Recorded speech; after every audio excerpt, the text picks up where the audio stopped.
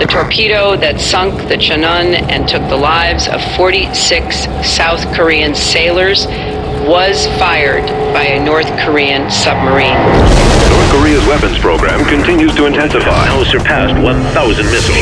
Global leaders expressed concern over North Korea's latest atomic test. Kim Jong il's government strongly defended its recent atomic test as a rightful response to Western aggression. The president appeared at the UN to call for severe sanctions against North Korea.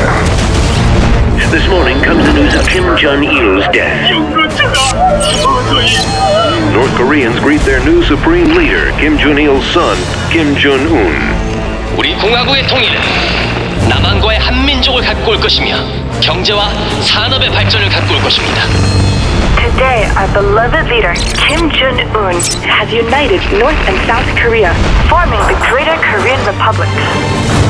Talks to end the Saudi-Iran war have stalemated once again. Meanwhile, damaged oil wells and pipelines burn uncontrollably, deeply affecting world supplies.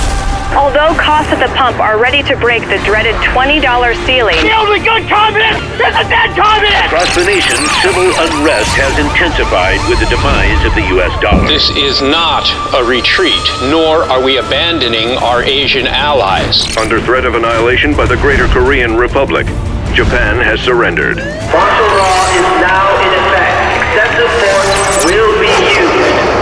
hours after the president ordered a freeze on bank withdrawals, We don't know where we will get our next meal from. The Mexican government has imposed strict immigration quotas, effectively closing its borders to American refugees. Koreans' annexation continues to spread despite the U.S.